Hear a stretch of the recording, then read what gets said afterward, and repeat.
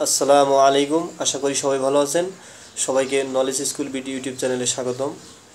আজকে আমি আপনাদেরকে ধারা বিষয়ক দুইটি গণিত বিষয়ের প্রশ্নোত্তর দেওয়ার চেষ্টা করব। তো কীভাবে আমরা এই প্রশ্নগুলোর উত্তর করব তার ব্যাখ্যা সহকারে উপস্থাপন করব। তো চলুন শুরু করা যাক। বিসিএস থেকে শুরু করে বিভিন্ন চাকরির পরীক্ষায় প্রায়ই আসে যে এরকম কিছু সংখ্যা দেওয়া থাকে। যেমন আমি লিখেছি এক, পাঁচ, এগারো, উনিশ, উনতিরিশ একচল্লিশ, তার পরবর্তী সংখ্যাটি কত হবে?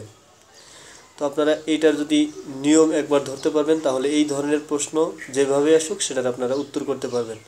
তো কীভাবে উত্তর করবেন? আপনারা প্রথমে পাশাপাশি দুইটি সংখ্যার পার্থক্য নির্ণয় করার চেষ্টা করবেন। দেখুন, এই ধারাটির পরবর্তী সংখ্যাটি কত হবে? এই ধরনের প্রশ্ন আসে। তাহলে আপনারা প্রথমে কি করবেন? এই পার্থক্যটা খুঁজে বের করবেন। এটার পার্থক্য কত? চার। এটার পার্থক্য কত? ছয়। এটার পার্থক্য কত?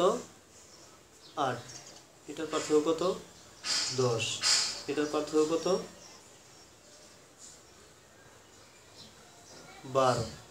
তাহলে দেখুন, এটার পার্থক্যগুলো ক্রমান্বয়ে দুই করে বেড়েছে। এখানে প্রথমে হয়েছে চার, তারপরে হচ্ছে ছয়, তারপরে হয়েছে আট, তারপরে হয়েছে দশ, তারপরে হয়েছে বারো। তারপরে এটা কত হবে পার্থক্য?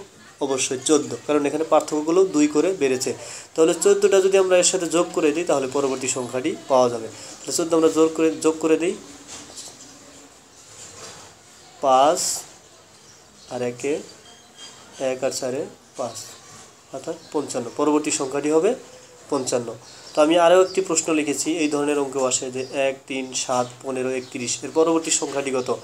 অনেকের সংখ্যাগুলো দেখেই চমকে ওঠেন। তো কীভাবে বের করবেন? তো আগে বলেছি যে পার্থক্যগুলো নির্ণয় করবেন এর পার্থক্যটা আমরা নির্ণয় করি।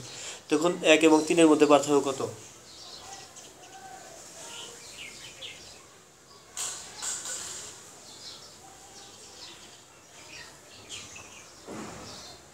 পার্থক্যগুলো হলো, প্রথম ক্ষেত্রে হয়েছে তিন থেকে গেলে দুই, সাত থেকে তিন গেলে চার, পনেরো থেকে সাত গেলে আট একত্রিশ থেকে পনেরো গেলে ষোলো। দেখুন, পার্থক্যগুলো কীভাবে হয়েছে?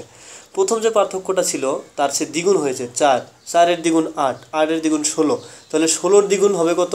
বত্রিশ। পরের পার্থক্যটা হবে বত্রিশ। তাহলে আমরা যদি বত্রিশটা যোগ করে দেই, তাহলেই আমাদের পরবর্তী সংখ্যাটি পাওয়া যাবে। তাহলে আমরা বত্রিশ যোগ করে দিই দুই আর একে তিন তিন আর তিন ছয়, অর্থাৎ তেষট্টি। দেখুন, এটার যদি আমরা পার্থক্যটা নির্ণয় করি, তাহলে বত্রিশ হবে। তাহলে এইভাবে আপনারা প্রথমে পার্থক্য নির্ণয় করবেন, তারপরে পরবর্তী সংখ্যাটি নির্ণয় করবেন। তো আশা করি বুঝতে পারছেন। ধন্যবাদ সবাইকে ভিডিওটি দেখার জন্য। আর একটি রিকোয়েস্ট থাকবে, আপনারা যদি নতুন হয়ে থাকেন তাহলে অবশ্যই সাবস্ক্রাইব করবেন। আজকে এই পর্যন্তই। সবাই ভালো থাকবেন, সুস্থ থাকবেন। আবারও দেখা হবে নতুন কোনো ভিডিও নিয়ে। আল্লাহ হাফেজ।